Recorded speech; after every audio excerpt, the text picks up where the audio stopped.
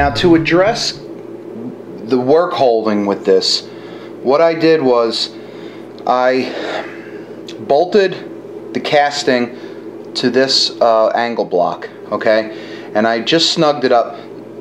Uh, so it was it was square against this one, but yet it could pivot this way because if the spindle is going down this way, it needs to be uh, perpendicular this way and this way um, in order to ground, you know, perpendicular to this face. So I have it bolted against here. Okay, so we know that it's square this way. And now I have this guy right here pressed up against here and I used a, um, a flashlight to check the light make sure it was as perfect as I can possibly get it to take care of this so and what I did was if you could see over here I used these pins these are uh, precision pins that are ground hardened and ground I got one here and one over here and that you know that allowed it to support it up and allow for the pivoting so I got it bolted down and uh, and I got it um, squared up on, on both planes. So let me try to get you in here and you can see. Alright, so now I got my, my mag light and we're trying to see if we could see any light coming through. And it's a little tricky to do with the camera, but what I can do is I can turn this a little bit to open it up. Move past the, there's a bunch of holes on the face of this square block. Now you can see. It's tight up there and it opens up a little bit down here. See there's a gap right there. So there's some fine adjustment that still needs to take place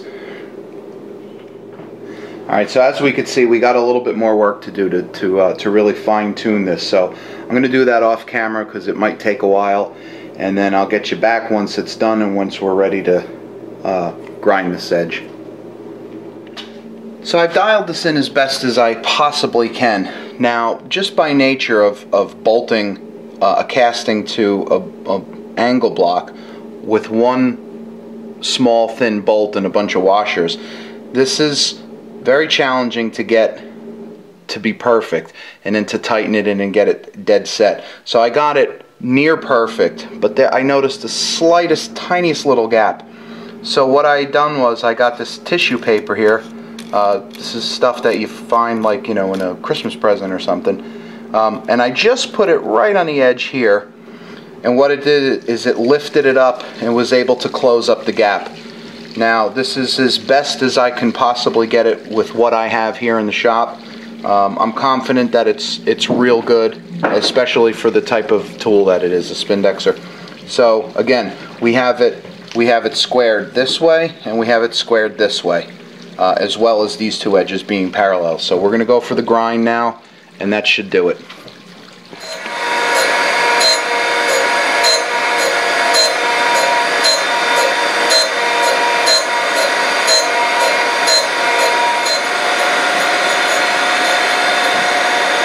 As you can see, I'm sparking out to nothing, which tells me that it was uh, it was sitting low.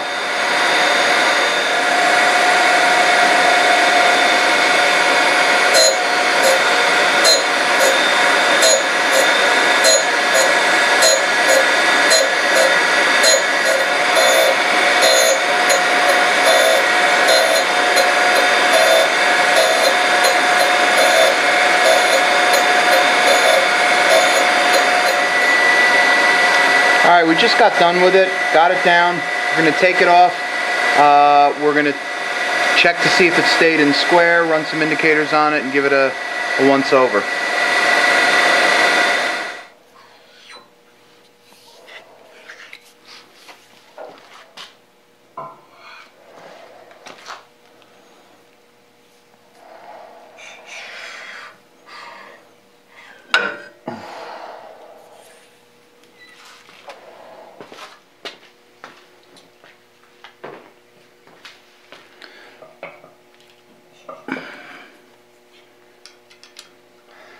See, this is a bit of a crude method here, but again, it's it's really all I have.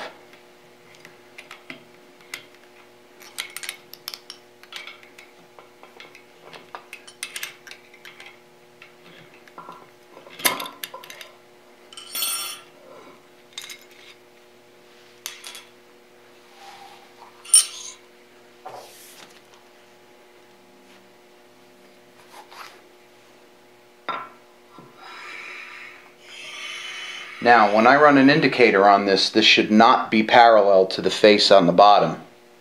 Okay, because I haven't ground that yet. So I'm going to get an indicator hooked up and we're going to see.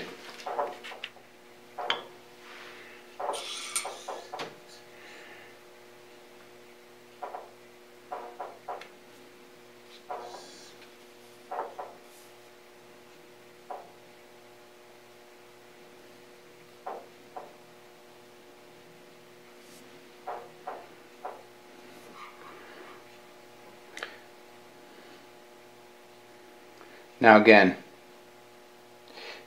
nothing should nothing should be parallel. That yeah, there's a huge sweeping difference. Let me uh, let me position the camera and show you. All right, looks pretty good. Now away we go. See, there's a huge linear deflection, which is what we're looking for. Well, not what we're looking for, but we're just kind of proving a theory. So this bottom, the this top is ground level now and square, but the bottom section isn't. All right, uh, the bottom checks out, the sides check out, everything everything checks out um, in terms of the sides and the bottom uh, square to the back face. Uh, now we just got to grind. Uh, we just got to grind the top now. So what I'm going to do is I'm just going to mount this the way it is and clean the clean the face and we should be good to go.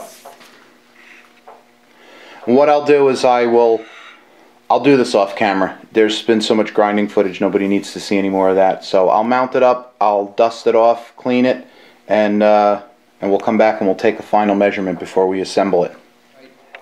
The casting just got off the grinder, took a stone to all the corners uh, I measured it for parallel, and it's parallel again within you know within a tenth everywhere you go. Sometimes there's just no detectable movement whatsoever.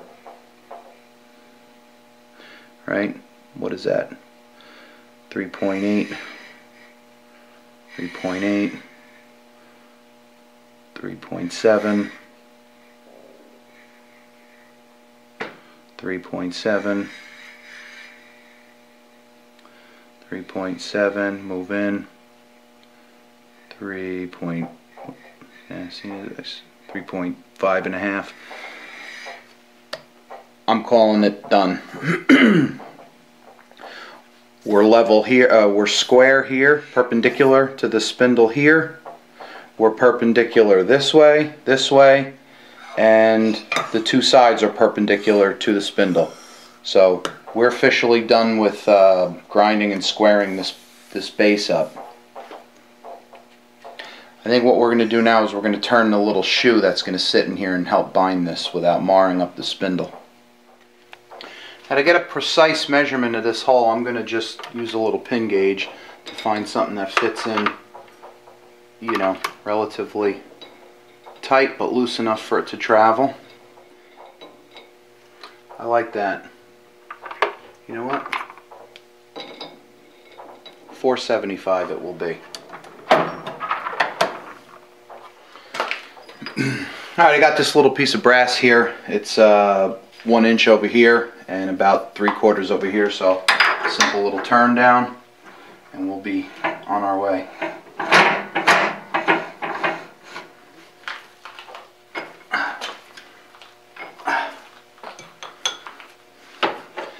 I'm using this new um, BXA CNMG holder. Using these um, Sandvik free insert free samples. These things are nice real nice. So let's get an initial measurement and see where we're at.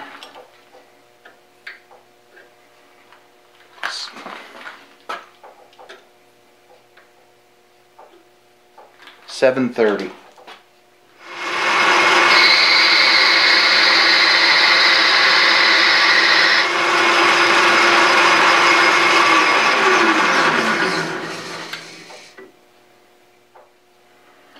27.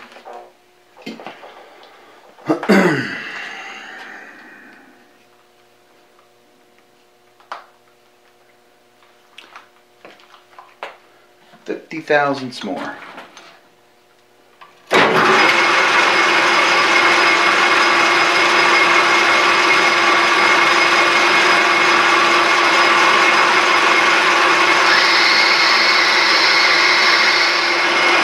Alright, we got our diameter turned down. We just need to drill the through hole.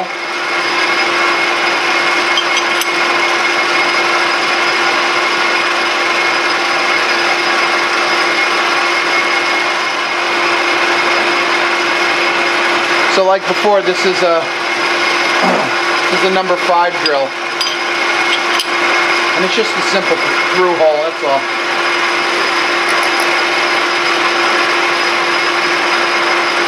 I think my uh, chuck was seated correctly. Had a little slip to it. Alright.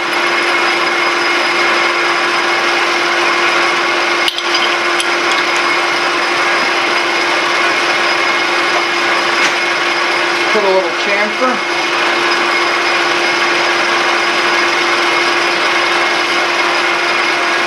Actually, I'm going to take a little skim graze coat. Hold on. Let me turn the power feed off here. It's making an awful amount of noise. I'm going to just take a quick little facing cut.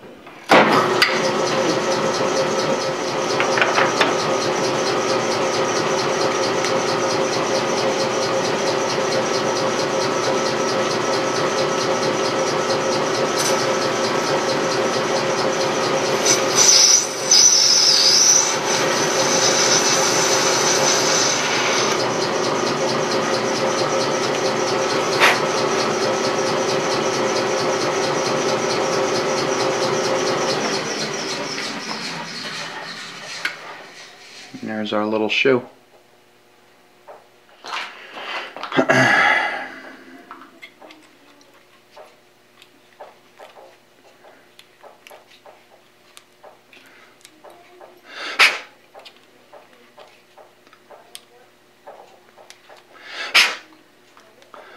and there she is.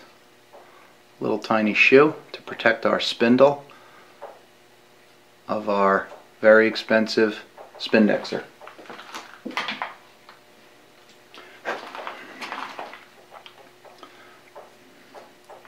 Even though this ain't gonna go in there, but this will just sit right here on the tip and protect our spindle. Alright, let's go put the Spindexer back together now. Alright, we're all done now. We got our little shoe made. We got our our binding nut made. We got our ring that attaches the indexing plate to this. We got our our base is ground. We have holes drilled. We did a lot. This was a this was a great project, and I'll tell you, I, I learned a lot about grinding and um, you know just getting down into that next level of precision. So let's let's put a little bit of oil here on the spindle, a little light oil just a little bit. Now I got a t-shirt on my granite plate here. Um, some people had commented like, you know, you shouldn't use your granite plate to assemble anything, and you know, they're right.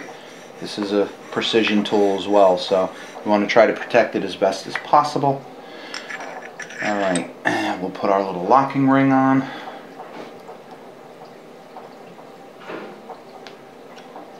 Yeah, this thing always walks.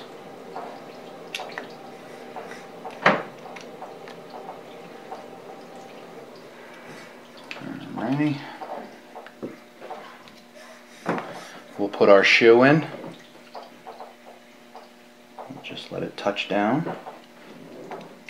Now the thing is, is it's it, it's such a close tolerance that it has to be completely straight for it to uh, to move. And if it you know if it gets canted a little bit, it kind of locks in there, which is good because it won't fall out then, and it stays seated, drops perfectly in there. We put our screw in. And let me tell you, this thing, this thing binds. Watch, I'll spin this. Let me turn this. I'll spin this, and it's like instant brakes. And that brass really, you know, it kind of crushes down a little bit, and it has superior, superior holding power.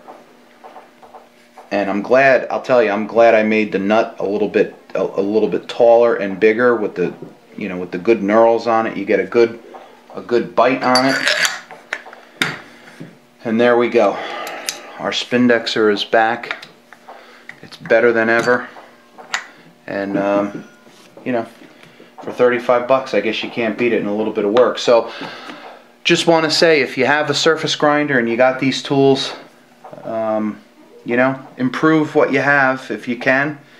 And, you know, don't let, uh,